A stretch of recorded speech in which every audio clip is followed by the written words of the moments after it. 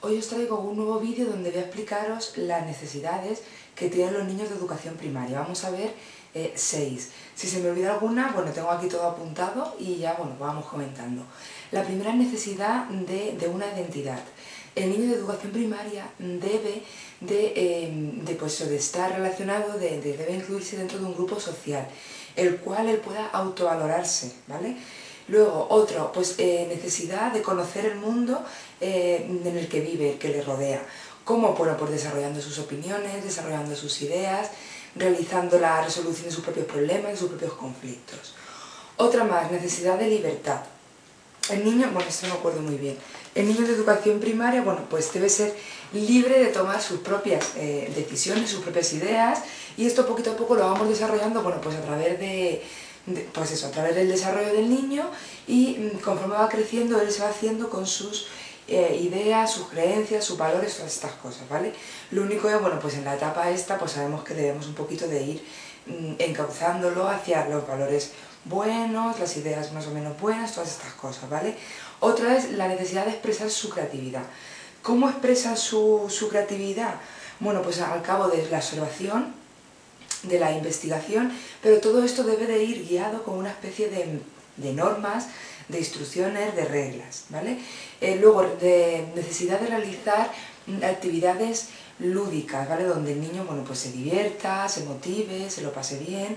En este caso, pues puede ser, por ejemplo, el juego. El juego simbólico muy importante en los niños, al igual que las estrategias mentales, las estrategias físicas, o sea, en los entrenamientos, ¿vale? Que tenemos que realizar con ellos. Y por último, el niño de educación primaria a ver, debe de aprovechar eh, eh, su tiempo libre. ¿Cómo? Bueno, pues mm, mediante, debe de tener sus intereses, ¿no? O sea, lo que a él le guste hacer, como puede ser jugar, salir a la calle, verle hacer un ratito, pero, pero aquí ya debemos de introducirle mm, obligaciones. Porque, bueno, pues todos sabemos los típicos casos de eh, padres que son muy, muy, muy, que están muy encima de ellos y que no parece como que si hacen algo es como, bueno, pues no, que tengan su obligación, yo qué sé.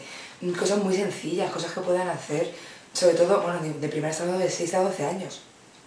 Pero los pequeños, incluso infantil, pues ayudará a llevar un vaso a la mesa, o a servilletas, cosas así, ¿vale? Entonces que tengan obligaciones. Los de primaria, pues cada vez más. Pues no sé, pues que saque a pasear sitio de perrito, que ponga la mesa, que la quite, que ayude a, su hermano a algo, que vaya, yo que sé, a un recado, lo que sea. Eh, entonces, así es como él va a aprovechar y a ver pues, mm, que su tiempo son también sus intereses, pero, pero que todos tenemos una serie de, obligaciones, siempre y cuando pues, se establecía dependiendo de su edad.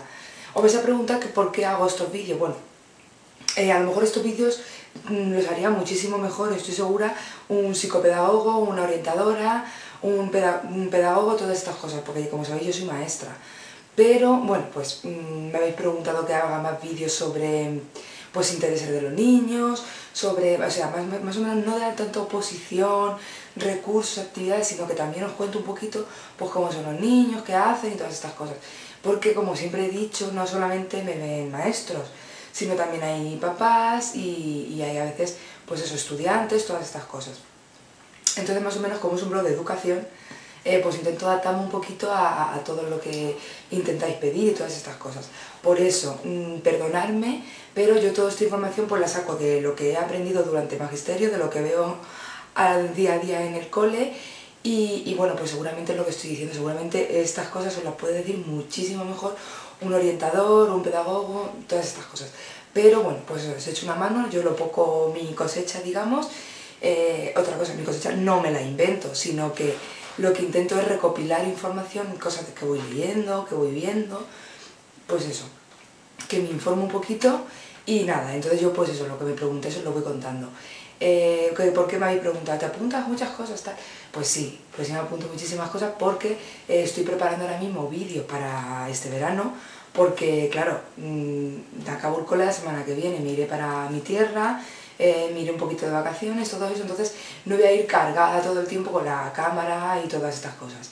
Entonces, bueno, pues intentaré prepararme todo lo que pueda y si me lo apunto, porque prefiero apuntármelo, echar un ojo y deciros las cosas correctas y bien, antes de que se me vaya santo al cielo y, la líe, ¿vale?